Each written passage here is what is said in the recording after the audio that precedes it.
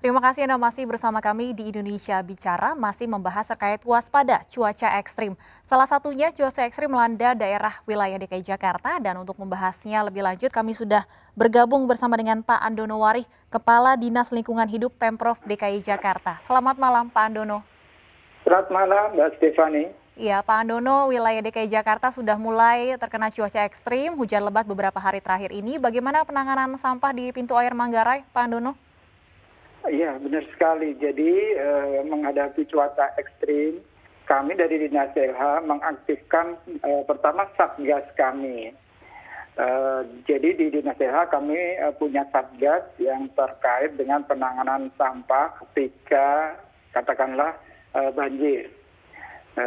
Kemudian tadi yang ditanyakan di Manggarai kemarin kita juga sudah menanganin salah satu episode uh, banjir di mana sampahnya menjadi ekstrim di titik tersebut.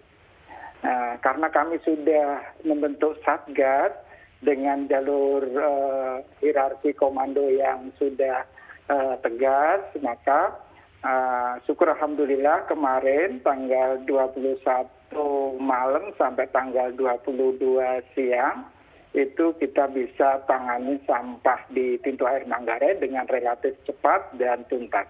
Demikian. Baik, ada hal-hal yang dilakukan Pak untuk mempercepat pengerjaan uh, pembersihan sampah di pintu air Manggarai?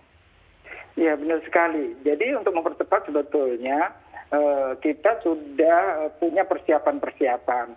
Pertama uh, tentu dari sisi SDM-nya tadi ya, satgasnya kita sudah bentuk dan Eh, sistem komandonya kita aktifkan. Yang kedua, sebelum uh, episode uh, banjir tersebut, kami punya program pemeliharaan alat-alat beratnya, sehingga manakala terjadi cuaca ekstrim yang membawa sampah dari hulu sungai, kita tidak terkendala dengan kesiapan alat-alat tersebut.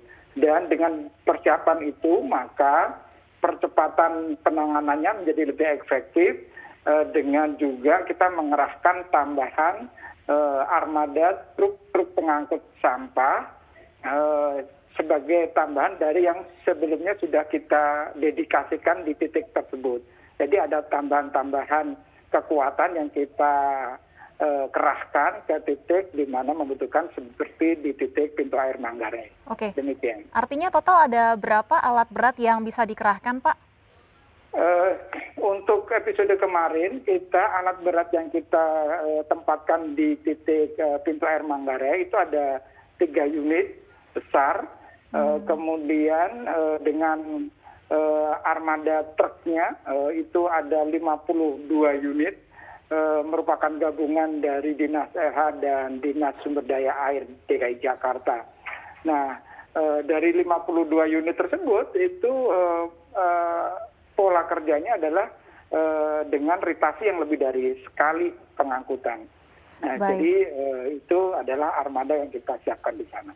Baik, uh, Pak Andono. Kemudian selain uh, di pintu air Manggarai ya, wilayah di Jakarta yang masih sering kali terjadi penumpukan sampah ini di mana saja titik-titiknya?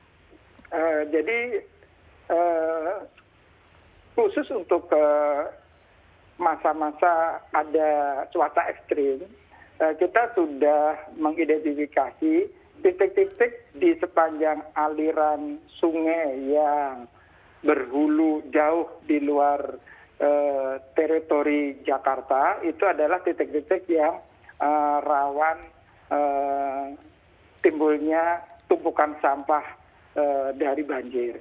Eh, sebagai contoh, kita sudah mengidentifikasi ada titik selain titik di pintu air Manggarai, kita identifikasi ada titik di jembatan Kampung Melayu di Jalan Abdullah Safei ya. Kemudian juga kita identifikasi ada satu titik di Jakarta barat menuju utara itu di Station City.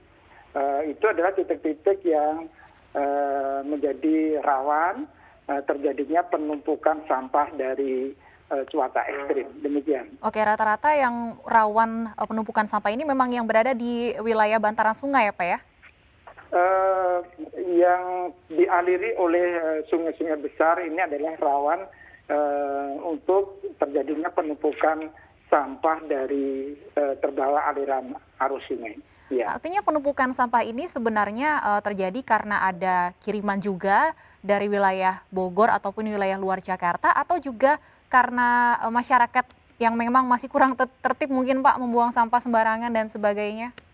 Iya, jadi memang uh, kita amati uh, ada kombinasi dari dua hal tersebut. Hmm. Uh, sesungguhnya kalau yang uh, normal hari-hari biasa kita memang mengamati sampah yang dominan adalah sampah-sampah rumah tangga.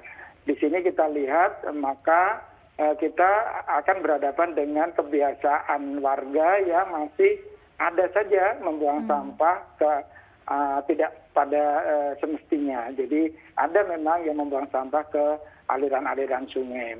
Uh, itu kalau pas hari-hari biasa.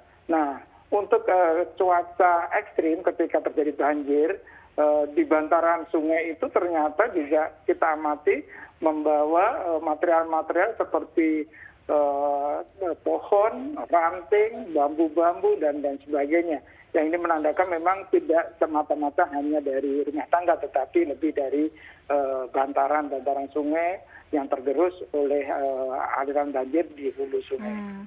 Oke, Pak Dono apa uh, imbauan Anda kepada warga DKI Jakarta supaya bisa ikut bekerja sama juga dalam uh, menanggulangi jangan sampai kita banjir lagi karena ada masyarakat yang masih tidak tertib dalam membuang sampah. Ya tentu uh, kami dari Dinas LH menghimbau kita semua untuk bijak dalam pengelolaan sampah. Jangan membuang sampah di sungai. Karena uh, sampah terutama yang plastik ini berpotensi untuk menyumbat aliran dan bahkan merusakkan sistem pompa pengendali banjir kami.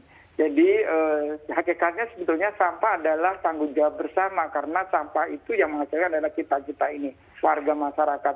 Mari uh, kami berharap Eh, kita semua termasuk warga masyarakat untuk eh, lebih bijak dalam eh, mengelola sampah, membuang sampah pada tempat dan jadwal yang sudah ditetapkan, pilah sampah dari rumah dan untuk mencegah mengurangi sampah sejak dari Eh, konsumsi eh, di eh, rumah-rumah kita masing-masing. Baik, Pak Andono saat ini kan kita juga masih di tengah pandemi ya. Apakah mungkin ada penambahan limbah medis dan bagaimana penanganannya Pak untuk limbah-limbah medis ini? Jadi kalau limbah medis yang terkait dengan penanganan eh, kesehatan di fasilitas pelayanan kesehatan eh, itu sudah menerapkan protokol-protokol yang ketat sehingga penanganan limbah medis dari eh, katakanlah alat pelindung diri tenaga kesehatan itu sudah dikendalikan dengan sistem kendali limbah B3. Dan eh, sejauh ini kami tidak menemukan, katakanlah kemarin masih baru banget di pintu air Manggarai, kita tidak menemukan eh, adanya tumpukan limbah medis seperti APD dan sebagainya. Jadi kami masih Eh, belum eh, mudah mudahan tidak terjadi adanya pembuangan limbah medis ke sungai atau ke tempat-tempat sampah konvensional. Demikian. Baik, uh, Pak Andono selain waspada cuaca hujan yang ekstrim, uh, kadangkala juga tentunya yang perlu diwaspadai angin kencang juga ya. Ini bagaimana untuk antisipasi adanya pohon tumbang di wilayah DKI Jakarta? Benar sekali. Jadi sebetulnya kami di Pemprov DKI Jakarta ini Eh, tentu mendapatkan informasi peringatan dini uh, cuaca dari bmkg dan di pemprov dki jakarta ini ada bpbd ya uh, badan penanggulangan bencana daerah yang selalu menginformasikan uh, info awal perakiraan cuaca maupun angin ya potensi angin kencang di wilayah Jakarta. Dan dari info itu uh, BPBD dan dinas komunikasi informasi dan statistik dki jakarta itu menyebarluaskan dengan berbagai channel uh, publikasi yang dimiliki oleh pemprov dki jakarta. Nah dari situ maka semua opd organisasi perangkat daerah termasuk dinas kami dinas lh mengantisipasi sesuai dengan tugas dan fungsinya masing-masing. Kalau tadi ditanyakan terkait dengan antisipasi pohon tumbang dan sebagainya, tentu teman-teman kami dari Dinas Pertamanan dan Hutan Kota berdasarkan info dari BPPD yang berasal dari BMKG melakukan antisipasi-antisipasi untuk mencegah terjadinya pohon tumbang yang menimbulkan uh, korban dan kerugian. Demikian. Baik, terima kasih Pak Andono sudah bergabung bersama kami di Indonesia Bicara. Sehat selalu Pak Andono, selamat malam. Terima kasih, selamat malam. Ya, pemirsa tentunya cuaca ekstrim dan musim pancaroba juga kerap kali uh, ter terkait dengan adanya penyakit di musim pancaroba. Kita akan tanyakan langsung apa saja yang perlu diwaspadai tentunya penyakit di masa musim peralihan ini. Kami sudah tersambung dengan Dr. Tessa Oktaramdani, spesialis penyakit dalam. Selamat malam, Dr. Tessa. Selamat malam Mbak Stefani. Iya, Dokter Tessa, apa saja sih penyakit yang perlu diwaspadai di musim peralihan atau di masa pancaroba seperti saat ini? Pada masa pancaroba seperti ini, jadi memang uh, yang biasanya akan mengalami peningkatan itu adalah kejadian uh, infeksi saluran nafas dan satu lagi adalah kejadian diare akut. Infeksi saluran nafas ini diakibatkan oleh apa, Dokter Tessa? Bisa bermacam-macam Uh, paling umumnya paling sering adalah disebabkan oleh virus, uh, bisa virus-virus influenza. Kemudian ya karena saat ini kita dalam kondisi pandemi juga harus diwaspadai uh, penularan virus corona. Kemudian uh, ada ada juga uh, infeksi pernapasan yang disebabkan oleh bakteri. Jadi pada umumnya sih memang uh, peningkatan kejadian ini terutama terjadi ketika terjadi perubahan musim seperti saat ini. Oke, ada usia-usia khusus yang memang rentan terkena penyakit ini atau semua usia harus tetap waspada? Pada dasarnya sih semua usia harus tetap waspada ya, karena memang e, penyakit sendiri bisa menyerang pada usia berapa saja. Hanya memang karena e, umumnya disebabkan oleh virus yang juga berkaitan dengan imunitas e, dari seseorang, maka ada beberapa kelompok orang yang memang e, cukup rentan untuk uh, terkena infeksi-infeksi seperti ini, yaitu orang-orang yang memang imunitasnya rendah, contohnya kelompok anak-anak dan kelompok lanjut usia. Uh, untuk kelompok usia muda memang ada beberapa orang yang punya penyakit tertentu yang memang menurunkan daya tahan tubuh, terutama kelompok-kelompok itu sih yang harus lebih waspada terhadap tertularnya atau merebaknya penyakit-penyakit ini. Kalau untuk kemudian tadi yang kedua terkait diare akut ya, apa saja penyebabnya? Hmm diare akut itu uh, bisa disebabkan oleh infeksi. Jadi uh, paling sering itu disebabkan oleh virus, kemudian juga bakteri. Uh, biasanya penularannya terutama dari fekal oral, artinya uh, penularan dari makanan ataupun uh, masalah kebersihan yang tidak terjaga. Hmm. Uh, terutama kalau misalnya ada bencana seperti banjir ketika uh, ketika terjadi banjir dan kemudian sanitasi menjadi masalah itu harus diwaspadai uh, merebaknya atau menjadi outbreaknya kasus diare.